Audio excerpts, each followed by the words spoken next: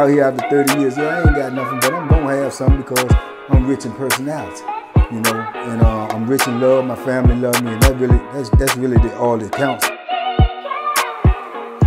Shout out to everybody out there on Team Banky Pound, man. Much love. I appreciate the support. Oh, we back up in here, man. But, you know, before we go again, I got to remind y'all, man, let's get to that 50K, man. We right there on the edge of that 50K. So if you ain't subscribed, please go subscribe. Tell a friend to tell a friend about this movement, this beautiful movement we got going on, man, trying to spread this positive energy. I appreciate the love, man. I appreciate the support. So let's get it cranking in 2022. Let's make it our year. TBP stand up. If you like these videos, man, make sure you take the time to hit the button to like them. Share these videos so they can spread around. And we're going to get this movement rolling, man, in 2022. Um, with that being said, man, I had a lot of requests about these videos. So I'm to start this series off, man, to try to give y'all some insight to my boxing career inside prison, man. The things that I uh, went through, some of the fights I had, uh, some of my opponents, um, things like that, man. It was uh, it was uh, it's a lot, it's a lot. So I'm just trying to pick and choose where to start or where to go with this. Um, man, I can remember, you know, like I say, you know, I boxed all my life. That was that's one of my passions. That's what I love to do. Um, I, I, get excited about boxing. I know it sounds crazy. People say, how you get excited about getting hit in the face? Well, you try not to get hit in the face, you know. But it's exhilarating, man. It's, it's something that I uh, that I do, that I love to do. Um, I always liked it. I always been fascinated with it, you know, from watching Sugar Ray Leonard and studying boxing all the way back to days of like uh, Sugar Ray Robinson, which in my opinion is the greatest dude who ever put on them gloves, you know, to watching Ali, you know, Hagler, uh, Hearns, uh, Duran, you know, all of those people, man. And there's a lot of people that come out of the area that I come from for boxing out of D.C. A lot of people came out of the same gym that I trained in before. Uh, Ex-champions like Maurice Blocker, Simon Brown, um, people like that, man, that I, I actually grew up with. So boxing has always been a passion of mine. Um, so when I got in the system, man, and realized that they was boxing, you know, it, it I, I decided to make that one of my, you know, pastimes, one of my occupations to keep me, you know, out of a lot of foolishness and be focused on one thing. Because if nothing else, boxing, you know, requires commitment. It requires discipline and you know it takes up a lot of your time. So to get in there and to find out they actually had it was just great, you know. And um, I can remember the like the first place that I got after receiving going to the wall where they actually had the boxing there. It just, it wasn't moving the way it was moving, and they wasn't letting them do the things that they was do, doing on other institutions. Which at one point in time, the wall was one of the greatest, you know, boxing places you could be at, but during the time that I got there, you know what I'm saying, like the uh, the late 80s, it, it it wasn't doing that because the, the compound was on lockdown and it was coming off of lockdown like on semi-lock, so the movement was was was chopped in half and especially like traveling to go somewhere to box other institutions, all of that was being deaded because of so much violence that was going on inside the wall and so much killing and, and, and violence and stuff that they had just cut all of that out. But when they did open the doors and we was able to go to rec and go to places like that, you still could train. They had the boxing um, ring outside on the yard itself, so you could actually get inside the boxing ring and spar dudes and stuff like that. And one of the greatest parts about that right there was that was when I was first introduced to Big Sam Pitts, you know, to be able to see him, you know what I'm saying, boxing and training and and uh, uh, uh working out, man, like an animal, a, a beast that he was.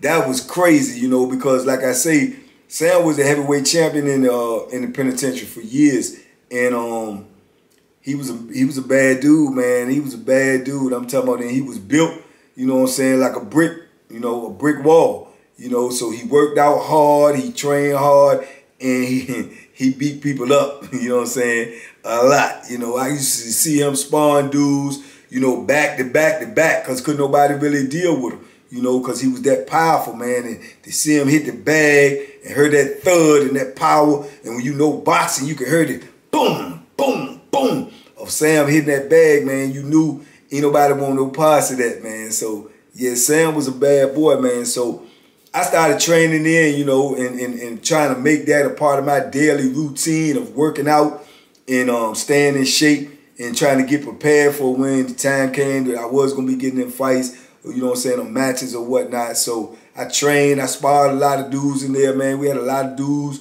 that could box in there, a lot of good old dudes, man, and dudes from up my way. I remember I had a homeboy in there, man, named uh, uh, Moochie. And man, whew, Moochie was a bad, bad man, man. I mean, he was fast. He was bigger than me. He probably was like a cruiserweight, like 190.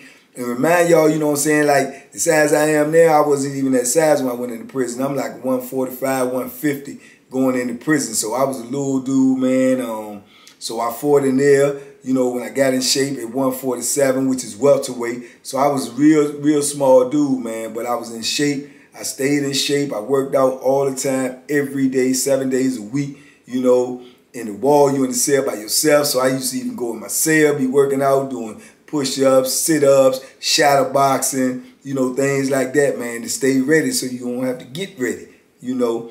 So yeah, I used to spar a lot of dudes in there, and even in this, most of the time you can't match up. You don't really have dudes that's your size or dudes at your weight class. So normally you have to spar with whoever you could get sparring with. So, you know, I sparred a lot, man, with dudes like Moochie, you know what I'm saying, which was good for me because he was way bigger than me. He was way fast and he was mad skilled. He had real skills of boxing. So that was good work for me and good, uh, you know, uh, uh, uh, activity for me to stay sharp and for me to be able to you know, hone my skills even more so now that I'm in prison.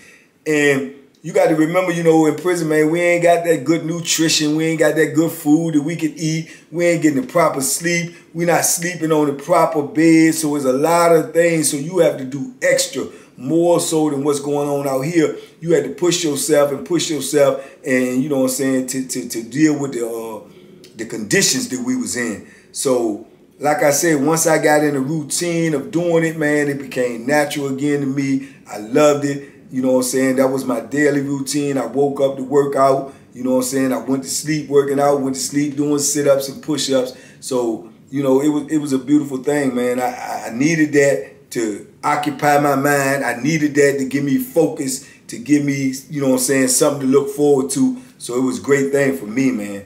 Um, I can remember then leaving there, getting to Augusta. So when I get to Augusta, man, um, they got the boxing up there thriving, man. It's it's it's it's it's, uh, it's going good, man. They had a lot of good good fighters and stuff up there too, man. Um, I remember dude from Richmond named Lowe. He had a reputation up there. They used to call him a, a, a, a crocodile because he had them old long arms and man, he had a mean left hook. And, and you know, he was a, a good opponent up there. You know, saying somebody that I was eyeing when I got up there. Um, they had this dude up there named Kaya. Uh, they used to call him Fire Kaya. Now he had been locked up and he had got out. And he had got out and actually for a pro. He was on ESPN. Dudes who had knew him had watched him on ESPN fight and everything, man. And he was doing real good out there with his little career. He messed around and committed some more crimes. They sent him back to prison. He ended up back on Augusta while I was there. So I knew all of this stuff about him, you know, from other people when I actually was meeting him. And he was actually my size, you know. So I used to see him in the gym working out and everything, and I'm sizing him up, trying to, you know what I'm saying, see what I could do with him if and when the time came that me and him was gonna have to mix it up, you know, uh, old fire Kaya. And um a lot of other dudes on there that could box as well, man. I had a homeboy on there named Rob. My homeboy Boo was up there, salute. You know, my brother, you know what I'm saying? That's one of my brothers. And um, uh, my, my homeboy Big Ty. But all of these dudes was in different weight classes and stuff, but all of them was there. But Kaya was in my weight classes, so Kaya was the champion on there because, like I say, he was a pro on the street. He was tough. He was he, he could rumble, and everybody knew about him. So when I get there and I'm in that weight class, so people looking at me like, you know, yo, you know, dude came up here, bank man, little young dude, man, yeah, yeah, he box too. So they trying to size us up and match us up and stuff like that. So um, even when we go out on the yard in the morning to go jogging, I used to jog every morning when we go out on the yard, trying to get me about three, four miles in. He used to be out there running, and man, he used to run like a reindeer. He used to be running all these laps so fast. God, this dude in shape, man. You know, so I, I, I kept my eye on him, man. And I can remember he pulled up on me, was talking to me because I'm sure he heard the little talk about me as if I heard about him. And um, we just chopping it up, man. And he was bold, man. He was like, man, well, you know, when we go down the gym um, later on, man, you want to get some work in? You know, so I'm like, yeah, you know, so, you know, I ain't going to turn nothing down like that, get some work in. I mean, he trying to spar. He trying to get it in. So, um, I can remember going down there the first time, man, working with him, man, and we, we you know, we suit up, we, you know, we glove up and everything, we get up in there, and I can remember off the top, the first thing that popped in my mind as I'm trying to dissect him is he do a lot of movement, man. I mean, he he come with it. He was super fast and he was small. He come with it, and man, he started coming out at me real tough and everything, man, swinging all types of stuff. And we supposed to be sparring. Then you got a lot of different spar wars. You got dudes that spar and they try to, you know, learn and get get stuff up off of you and, and vice versa, or get that work in to stay in shape because it ain't nothing like getting hit opposed to just working out by yourself, hitting the bag, hitting the speed bag, jumping rope, shadow boxing. It's a different ball game when you got somebody right in front of you. That's different. So that's why you need that sparring work to keep you sharp, to keep you ready, and also to keep you, um, you know, being aware of getting hit. Because everything else consists of not getting hit, even the pad work.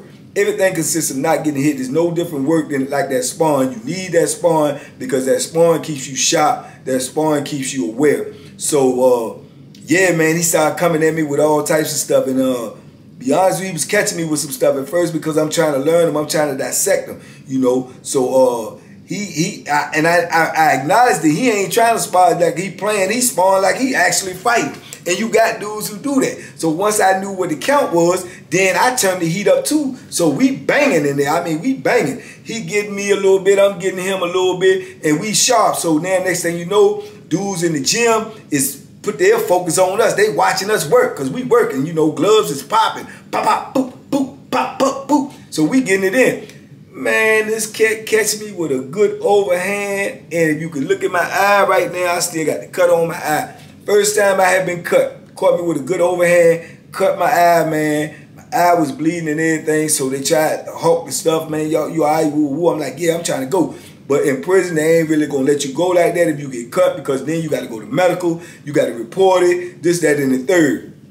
Which coincidentally, later on, years and years down the line, that's what they used to take the boxing out the system. That it was costing them too much money with the medical bills and all of this from dudes getting hurt. Dudes be going in that boxing, dudes get on the boxing team, man. Dudes get broke ribs, dudes get missing teeth, dudes get their jaw broke, their nose broke, their eye socket pop, uh, ribs, everything. So it was costing them medical bills and medical bills, and they used that to take the boxing out the system, which was crazy because, you know, those are the actual things that kept a lot of violence down in prison. Dudes being able to box, dudes being able to get their attention off, being able to get off of their frustration by getting in there and rumbling with each other. That could cause a dude not to, you know what I'm saying, uh, uh, focus his anger on somebody else that might got smart with him, somebody else that might have did something with him because he got a release for that energy now. So I think boxing was a great thing in the system, man. everybody used to be with it. All the wardens, the uh, assistant wardens, the majors, the officers, because they used to have these great big boxing matches, man. When they had these big boxing matches, man, almost all the time the wardens would come there, even when they off work. They they'll come and they'll set sideline and watch the boxing. They they make these events be actual big good events, man. The whole gym, they would pack the gym up or however many could get in there. If three or four hundred could get in there, that's who they would accept. Everybody else couldn't watch it. They had to, you know, wait because what they would do is they would film it and they would put the matches on your TV through the cable cord. They would run it like we had cables where we could we could watch movies and certain stuff that they show on weekends. They would do the same thing with the fights. If they had fights going on, they would film the fights and then they would show you the fights during the weekend as if it was a movie for all of the rest of the uh, population that wasn't there to see the fight.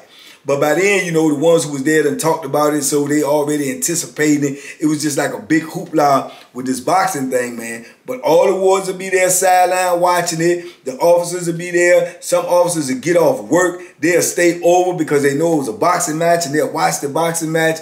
And it was just crazy, man. So once you build up a name for yourself in there, then all the officers and everybody who knew you would always, especially if they was in the boxing, they would see you, they would always speak to you like, what's up, champ? Oh, I saw your boxing match and this, that, and the third. Now, to me, the best part about it was that even though I was so far away from home, but the best part about it was that they actually would show the boxing match too in the visiting room on the weekends. They would put it up on the big TV screen and in the monitors. So if your family came up that weekend after you had a fight or something, they could actually sit in the visiting room, conversate with you, eat food, and sit there and watch you fight, which I thought was amazing, man.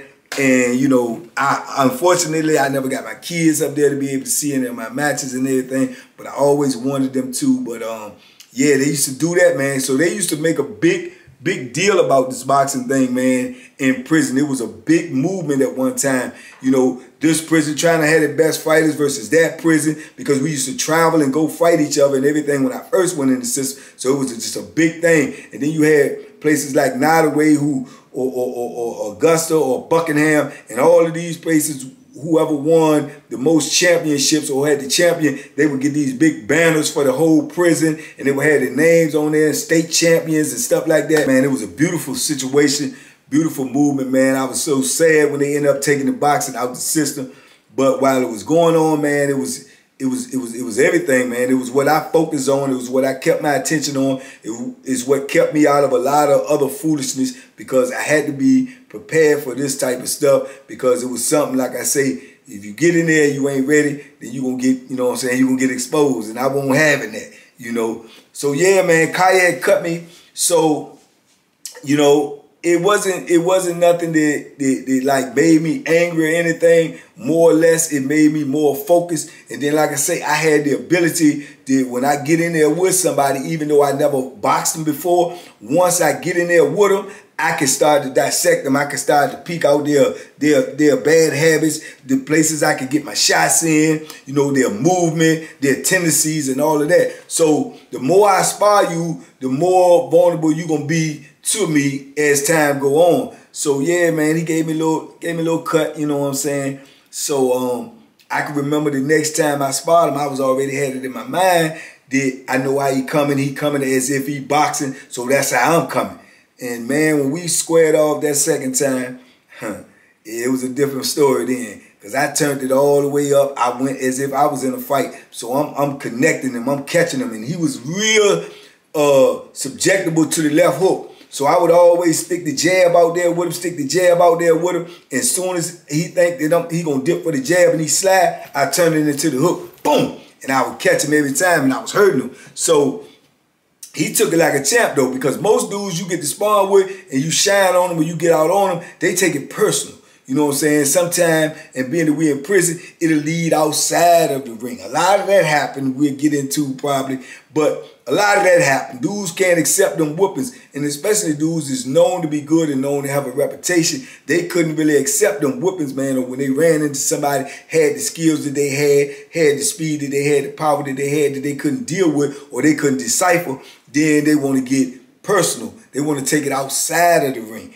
you know, and that's what happened with a lot of them boxing wars, man. That people get mad or get upset, you know, now, me and Kai, we never had no falling out or nothing like that. We sparred several times after that, many times, man, and we always waged good war against each other. It was always was good battles, and um, I, I I got good work from him. And to be honest with you, I learned a lot from him. You know, I learned a lot from him because he had been out on that street. He had been in some real good fights as I remember, before he got re-locked up, to my to my understanding, he had a good record. He was like 16 and 1. So he won't nothing to be trifled over and he won't no bum by, by no stretch of the imagination.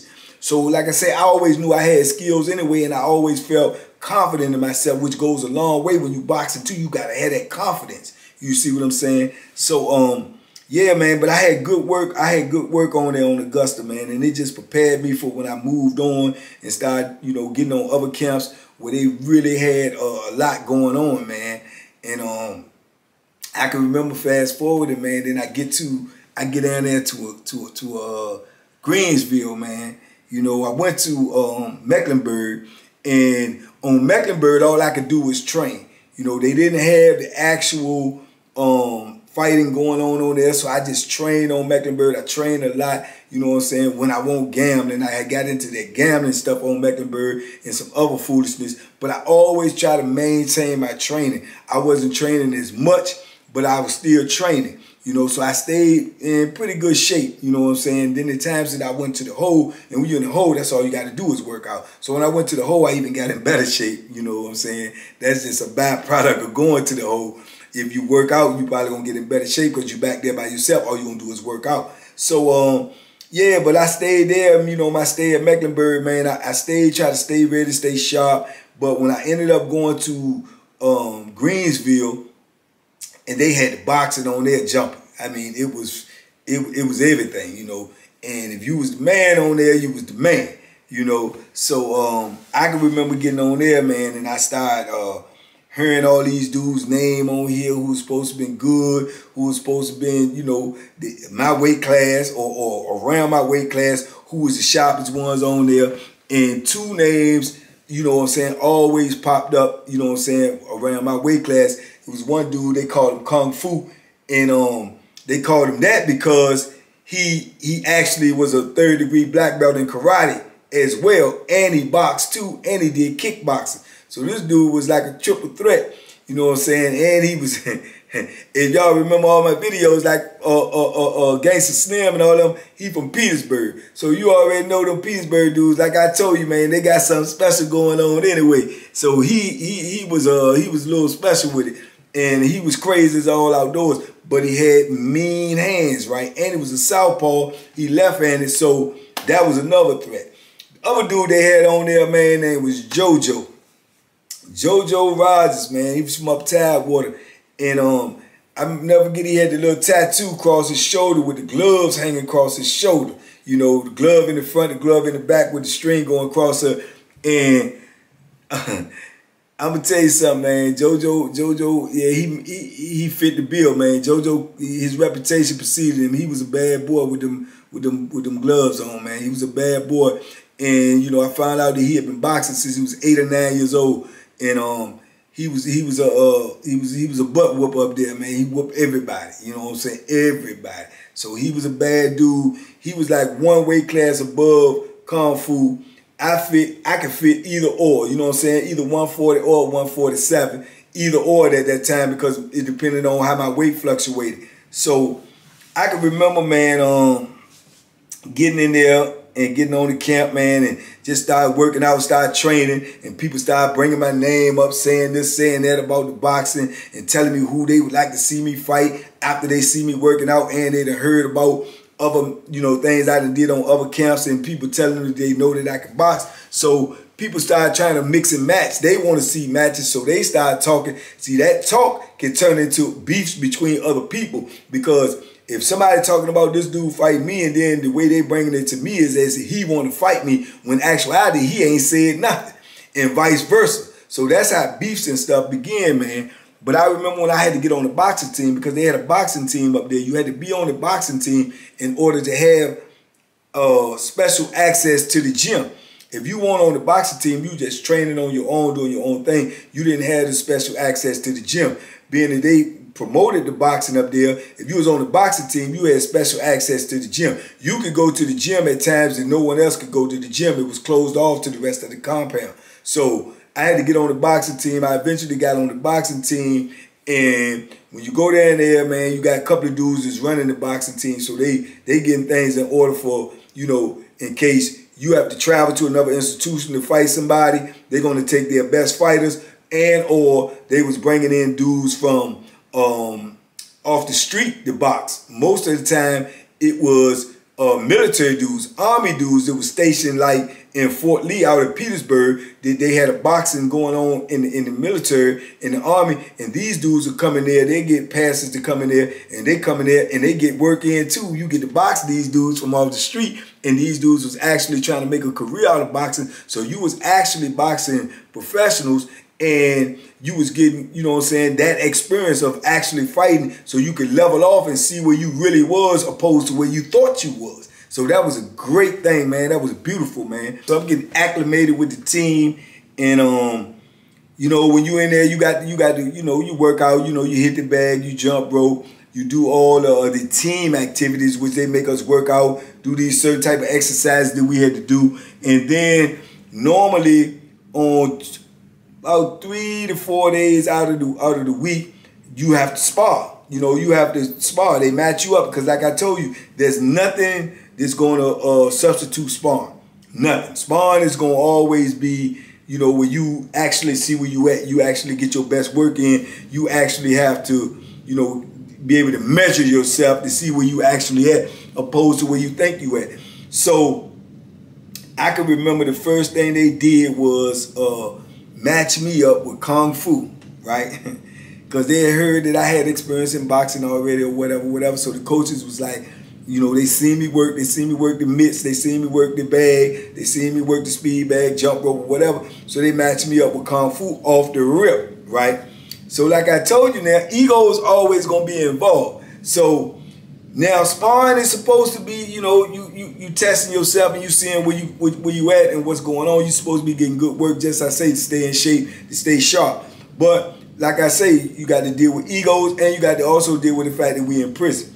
So me and him in there, man, we first started to work and he left-handed. And like I say, he one of these dudes too to do a lot of movement. He do a lot of feints and stuff and coming at you and he left-handed. So everything that's coming from a southpaw stance is going to be a little bit different than what you used to. So you got to switch your whole program up with punches that you used to coming from certain angles. They're going to be coming from different angles, and you got to be aware of that. So it's certain punches also too that a southpaw is subjectable to, like the straight right hand. So that's one of their biggest weaknesses if you got a good straight right hand. Fortunately, I had a great right hand. So we get to sparring, man. We get to mixing it up. I see he trying to, you know, I ain't gonna say he trying to go all out, but he he ain't going no semi neither. He going, he got his foot on the pedal, you know. So I'm, I'm I'm feeling him out and I'm seeing what he got going on or whatever. And you know, he catch me with a shot or two, but not too many, you know. And I'm starting to catch him, but I acknowledge that he is open for this straight right hand.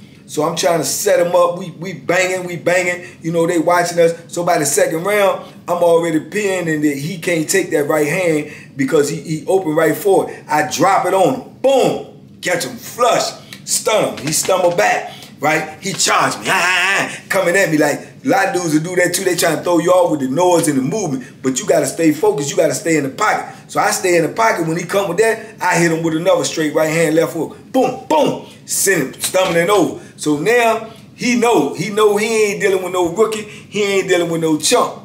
So he come at me, man. So now all of our spawn from that point on, we we we we waging war. We getting it in. You know what I'm saying? When our spawn be ended up over, man, we got busted lips, you know, bloody noses and everything. You know, this is how it's going with me and him. So we we we in the same block, so we conversate from time to time, but not like talking about we speak, we be cordial, whatever. But it's understood now, as far as I'm concerned, when we in that ring, then you trying to do something to me, and I'm trying to do something to you. So we used to we used to wage war, man, two or three times a week, you know, um, and it, it, it got a little crazy, you know what I'm saying?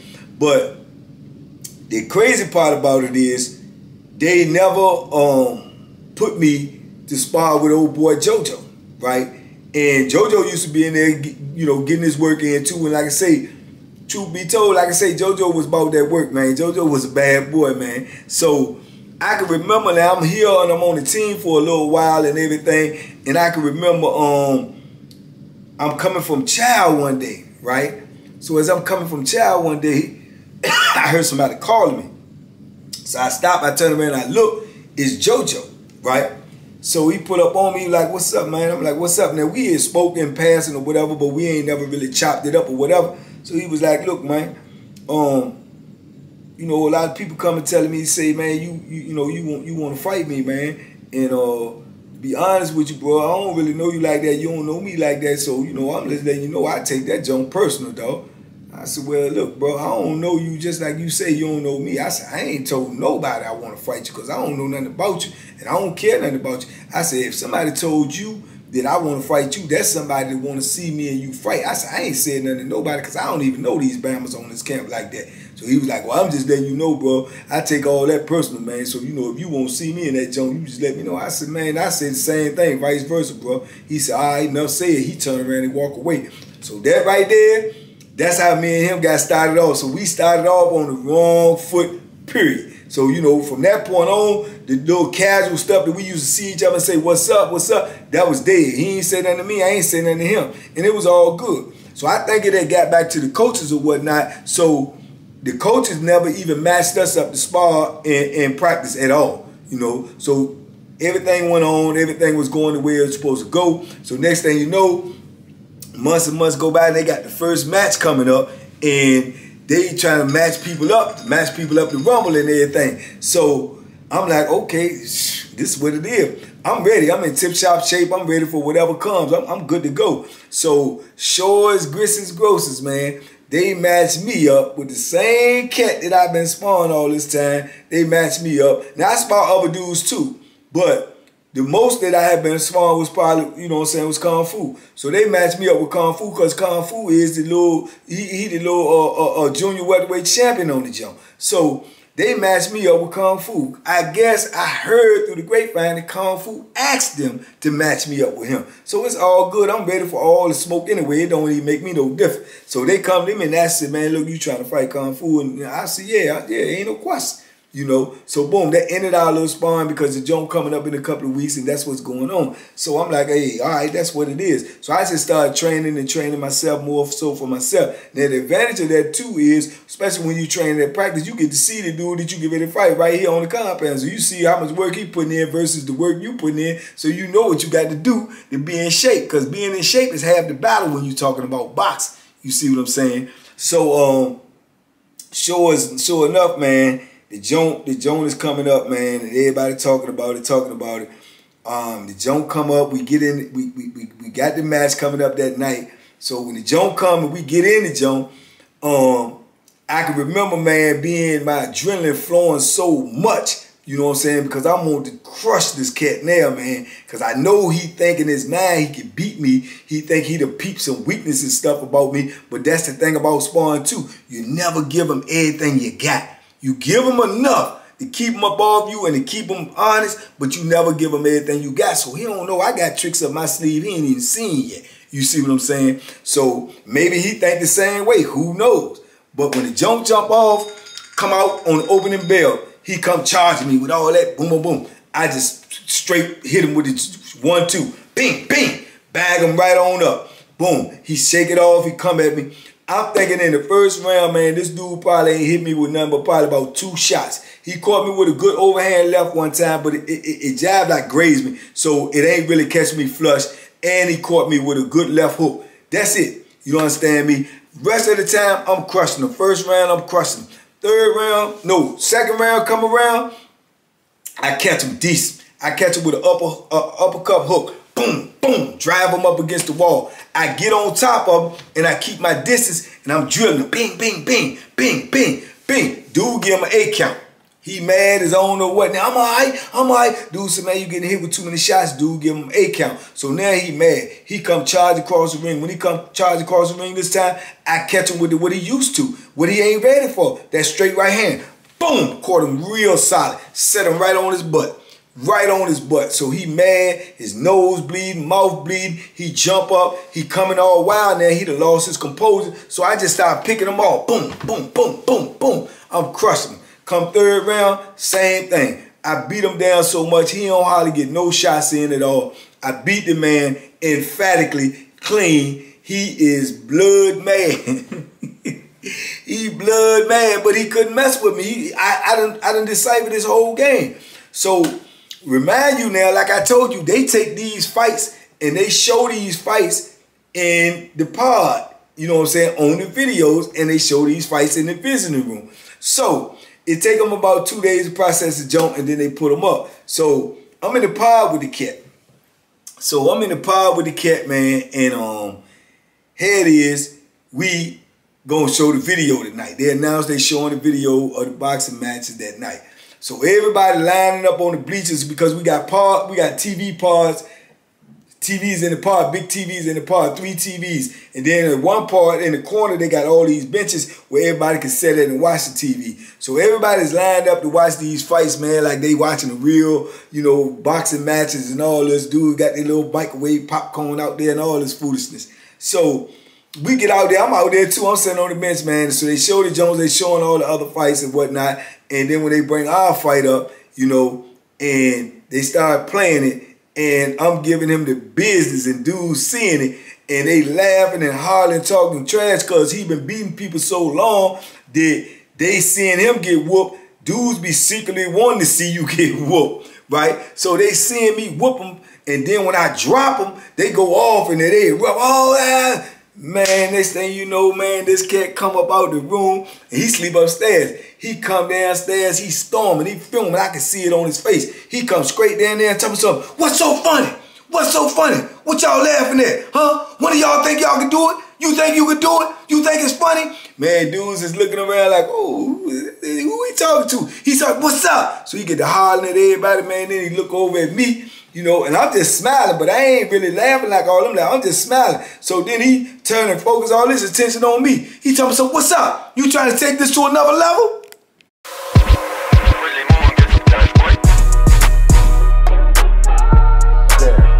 The bacon special. Yeah. Pure delicious. Pure deliciousness, man.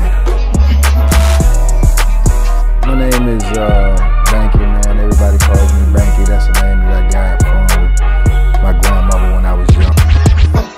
coming out here after 30 years. Yeah, I ain't got nothing, but I'm gonna have something because I'm rich in personality.